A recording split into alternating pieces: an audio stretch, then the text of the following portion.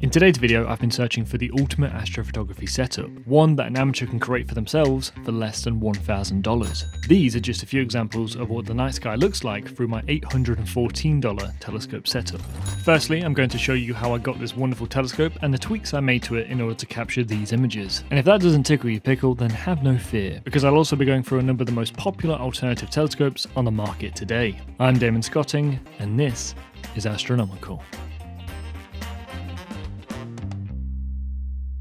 What we have today is one of my all-time favourite purchases, and I've managed to get this monstrous setup for a mere $689. It includes a 10-inch Celestron Newtonian telescope and a more than capable CG5 Go-To telescope mount. With the two of these items together, I can explore the universe in tremendous detail and extreme ease as the mount searches and tracks as many as 40,000 deep sky objects.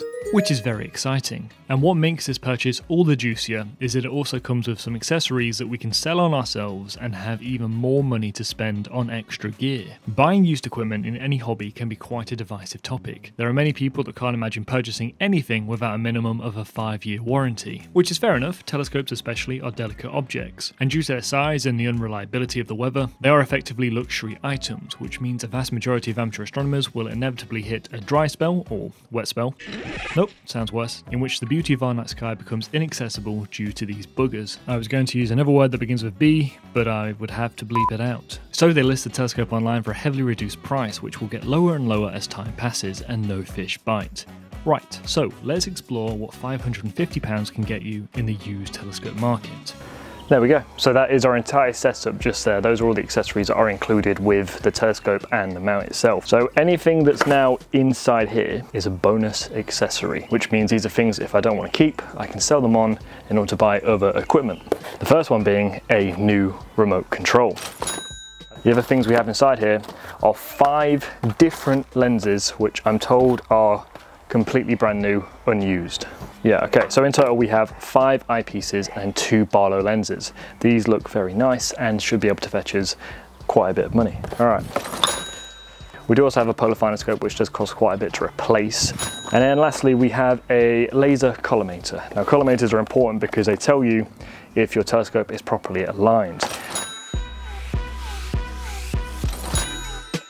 After selling all of the eyepieces, I decided to reinvest part of the money into an ultra versatile 8 to 24mm eyepiece that doesn't require me to swap out any other eyepieces every 5 seconds for an enhanced view.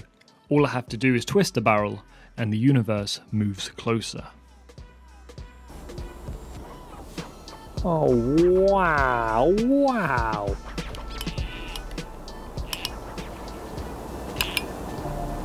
That is the best view I've ever had of the Orion Nebula.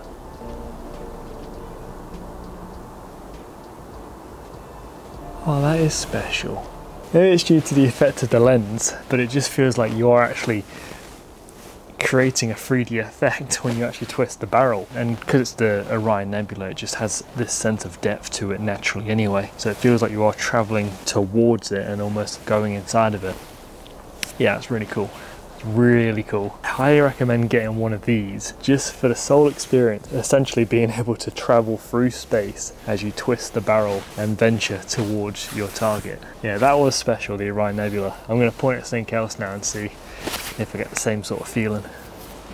Just doing it then to Betelgeuse. That one's very cool because it just gets even redder as you zoom in to the star. Like it goes from being sort of an orangey colour amongst a different variety of colours and then as you magnify it, it just becomes this dark red colour. That's really cool. Jupiter looks phenomenal as always, and we can make out three of its largest moons, with one of them transiting the gas giant. Jupiter is, of course, the largest planet in our solar system, and this particular moon is Ganymede, which also happens to be the largest moon in our solar system. In second place for the planet measuring contest comes Saturn, its brightest moons are a little harder to make out, so I've played around with the exposure a little so that you can see them. You can clearly identify the Cassini division in Saturn's rings. It's very distinct, but still a testament to your telescope's capabilities if you can make it out. Next up, the moon. Never better to observe than when it's between 25 to 75% illuminated. This allows you to explore many of its craters with terrific levels of contrast. But if you're in search of something a little beyond the reaches of our solar system, perhaps the birthplace of new solar systems, then this is what you can expect to see. I'm able to share these live views with you thanks to the help of my Uranus camera. my Player One Uranus camera. With the purchase of this camera, the additional eyepiece, and of course the money generated from the sales of these accessories, the total cost of this setup is just 651 quid, or $814. When taking long exposure images with this camera and telescope, this is what you can create.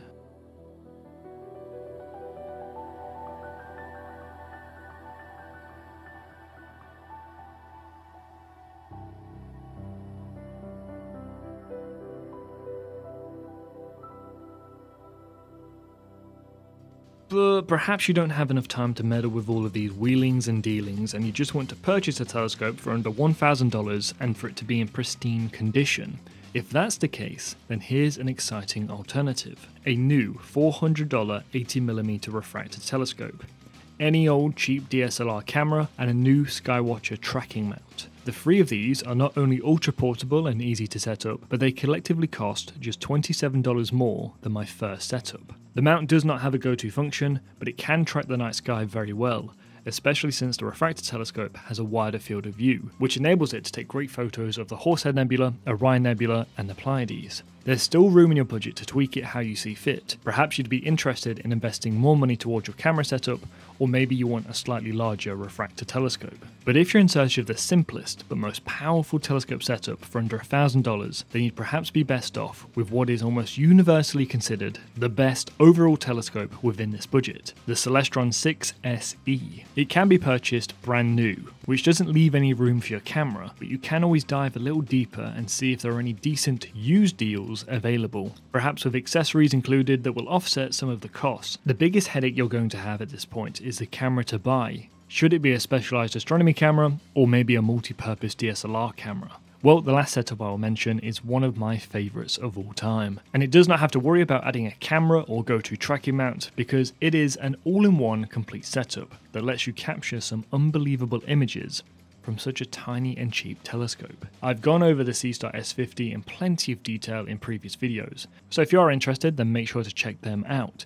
The bottom line in this video is essentially that your results will depend on the time and effort you can invest. If you've got time to shop around, you can have this with money to spare. If you're looking for something quick and assured, buy this. And if you're looking for the best of both worlds, get this. In fact, get two of them. Give one of them to your granddad. The goal of these videos is to showcase to viewers what you can see when looking for a telescope. The Seestar S50 has no eyepiece, so that's technically out of the running. But as we all know, what you can see versus what you can image are two entirely different things, which once again proves why the question of what telescope should I get, my budget is blah blah blah, is inherently such a difficult question to give a straightforward answer to. It depends on what you want from your telescope. Do you want to see planets? Do you want to see nebulae? Do you want to see star clusters? And most importantly, do you want to image them so you can share these images with friends and family? Hopefully, this video has provided you with a little bit of insight into what to expect.